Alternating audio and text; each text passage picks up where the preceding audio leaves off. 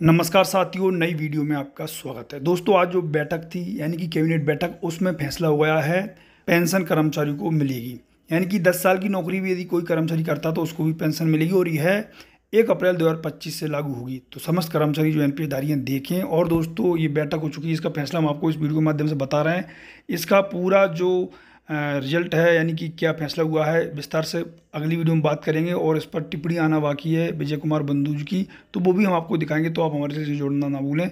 Subscribe और bell के icon को प्रेस करें दोस्तों, नीचे कमेंट बॉक्स में अपनी प्रतिक्रिया ज़रूर दें, वीडियो को लाइक करके ज़रूर करें तो आइए देख लेते हैं लेट्स को। दोस्तों, मोदी सरकार ने पेंशन स्कीम को लेकर बड़ा फैसला किया है। आज हुई कैबिनेट की बैठक में ओल्ड पेंशन स्कीम और न्यू पेंशन स्कीम की जगह यूनिफाइड पेंशन स्कीम यानी कि यूपीएस पर मोहर लगा दी है। सरकार ने कहा है कि जो कर्मचारी 25 साल तक नौकरी करेगा, उसे पूरी पेंशन मिलेगी। यूपीएस स्कीम से 23 लाख केंद्रीय कर्मचारी को फ़ायदा होगा यह स्कीम 1 अप्रैल 2025 से लागू की जाएगी। केंद्रीय सूचना प्रसारण मंत्री अश्विनी वैष्णव ने कैबिनेट की बैठक से जुड़ी जानकारी देते हुए कहा कि 10 साल सर्विस करने वालों को दस हज़ार रुपये की पेंशन मिलेगी। कर्मचारियों की सेवा के दौरान अगर मौत हो जाती है तो उनकी पत्नियों को साठ प्रतिशत पेंशन दी जाएगी। सरकार ने कहा कि उसके फैसले को राज्य सरकार भी लागू कर सकती है। कर्मचारियों पर इस स्कीम का भार नहीं पड़ेगा। बारह महीने के औसत वेतन का कम से कम पचास फ़ीसदी।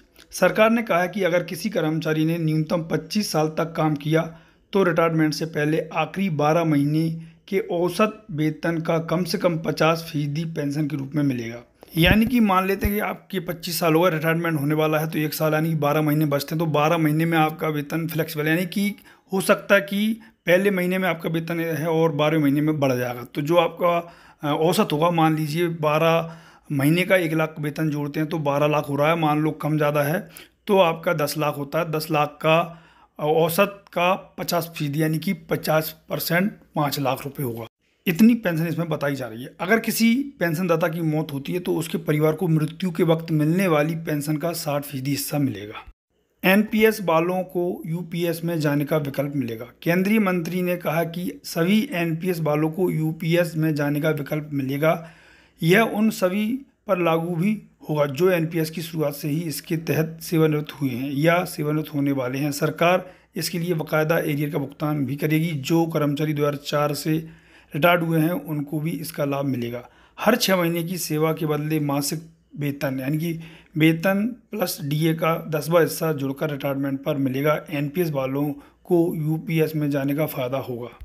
कांग्रेस ने ओपीएस का वादा नहीं किया था। सरकार ने कहा कि कांग्रेस ने जब ओपीएस की बात की थी तो उनके अपने नेताओं में मतभेद थे। कांग्रेस के लोकसभा चुनाव घोषणा पत्र में ओपीएस का वादा नहीं था, पीएम ने चुनावी राजनीति से ऊपर उठकर हमेशा फैसले किए हैं।